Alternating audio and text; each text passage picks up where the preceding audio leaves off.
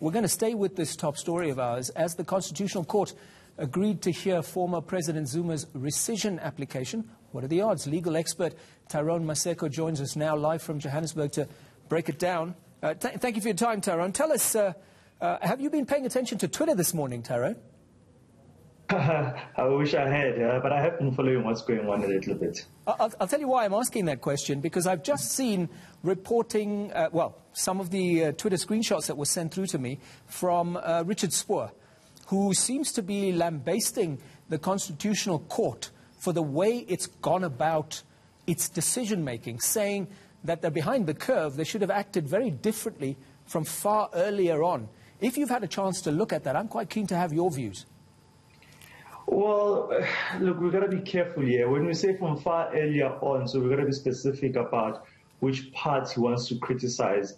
You know, I mean, I also thought it was strange at the time when um, um, Justice Mogoeng decided to give uh, Jacob Zuma an opportunity to make representations about whether, if he were to be found guilty, what sentence would be appropriate. I thought, oh, well, this is odd. I mean, this is a person who's not availed himself to the entire process, and fragrantly uh, disregarding the process. Why give an opportunity now? But after the judgment was handed down, you know, I also got to appreciate a little bit that perhaps it actually was not a bad idea to say to him, okay, fine, well, you don't know what finding we're going to make. Uh, we've listened to the arguments, you are not there, but you know, make a representation to us on this issue. And that actually turned out, turned out to be quite a big issue ultimately in the court's judgment, which was handed down recently, and hence the split. Um, and it actually was not a bad idea because now that they're bringing the rescission application, that's also going to be an issue because he wants to argue now, well, you know what, actually, even if I was in default, but give me an opportunity to make representations on whether I should go to jail directly. Well, now the Constitutional Court is in a position to say, why should we do that? You, we actually did give you an opportunity to make the representation. You spent that opportunity, and so we're not going to give you that opportunity again. But the court uh, will, will, look into this issue and make a decision.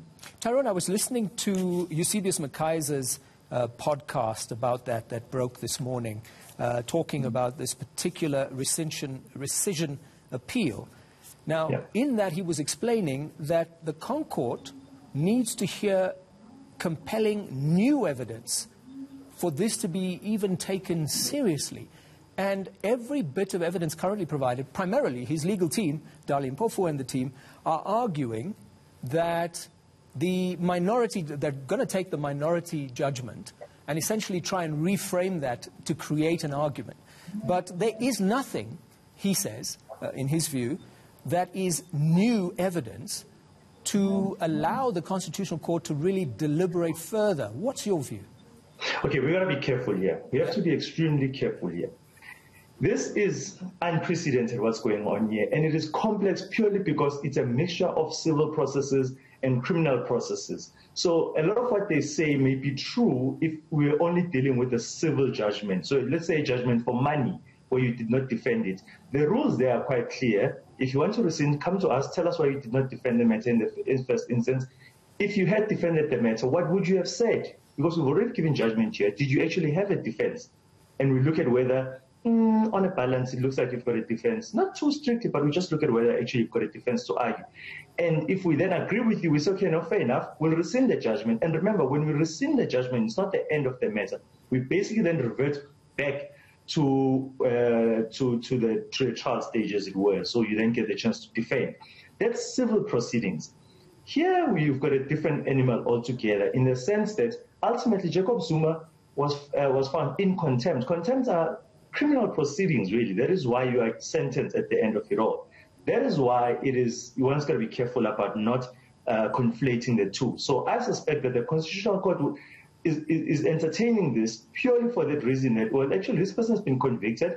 We might not even agree with, with, with his uh, argument and what he says ultimately uh, before us, but we're going to give him this opportunity. We're going to hear him, hear him, hear him out and, and then we'll make a decision as to whether. And part of the reason is because this matter was heard by the Constitutional Court directly, and it involves what would be dispute of fact. So the Constitutional Court had to actually make determinations of fact, and the Constitutional Court does not generally make determinations of fact. So you've got the Court of First Instance also being the final arbiter. Jacob Zuma's got no other avenue to make an argument. And remember, just lastly, contempt of court is actually a punishment really for you being a delinquent, for you refusing to accept the authority of the court that we've given a, we've given an order, you don't want to abide by it.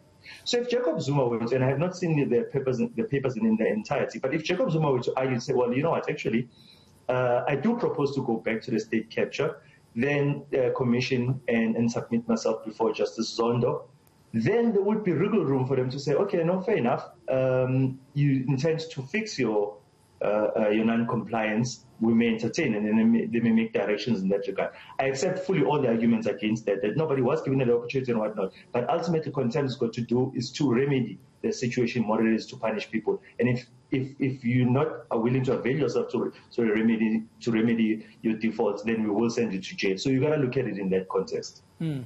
As you say earlier, uh, that he has had every opportunity prior to this and it seems that it's always when, and I use this blunt analogy again, when there's a gun held to his head and he is about to be sent to prison, that suddenly, you know, things change and he's willing to appear and so on and so on. So it does seem uh, to be a actions that I guess one might call frivolous because he didn't take it seriously when he had the chance to appear previously. Now it's being taken seriously because really, there's a very serious consequence that's been imposed. Uh, that appears to be, I, I mean, I'm, I'm, i guess a lot of people are very surprised that the Constitu Constitutional Court, after saying it didn't expect that he was going to attend, which, which is why it was prepared to make this judgment, that he wasn't going to come and that he hadn't come previously, they're now saying, hang on, maybe he will.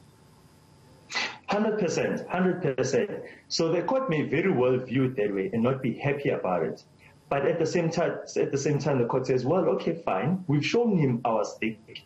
So if he's, a will, he's willing to come here and we, we grill him on it, because remember the Constitutional Court actually gets an opportunity to, to put these questions to him. So the, his legal counsel is in trouble. I don't know how they're going to spin themselves out of this, but if they're then willing to present themselves before the court, we finally get an opportunity to have them answer all these questions that we all keep asking all the time. Isn't that, wouldn't that be lovely? You know, let them answer all these questions and not guarantee that they may not be found uh, that the the, judgment may not be rescinded, having made all those presentment. It may very well not be rescinded. So I think the Constitutional Court is looking at it from that instance. Say, well, one, we may not rule in his favor, but we actually get an opportunity to, to grill these people on, on, on their behavior and their disregard for this court.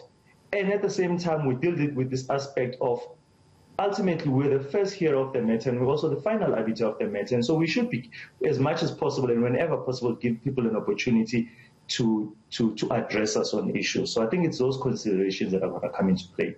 Tyrone, just a last question about the process that's happening on Tuesday at the High Court. It seems like a complete waste of time, surely. The court has no jurisdiction, but it has to go on.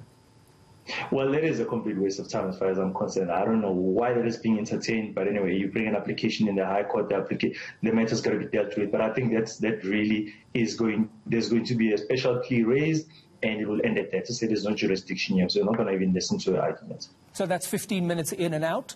And I think so, it should be. And as it currently stands, uh, the ex-president is still meant to be taken to prison. Yeah, that's, that's the, I guess, the complicated bit now. It says, well, what happens now? But uh, it's tough. So here's the thing, is that generally speaking, rescission judgments only apply in civil matters, so not where people are going to court.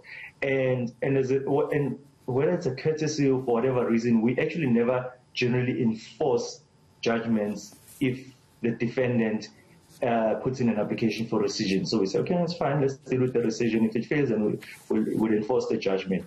But in this instance, it's more than just a civil judgment that we're dealing with. This is actually, this is a criminal proceeding, a criminal finding, and a sentence has been imposed. So I'm not sure that that quite avails them. So, yeah, I tend to go along with, with, the, with the notion that perhaps the, the police should enforce this, um, uh, the order of the court, failing the court uh, and interdictually prevents the carrying out of the sentence.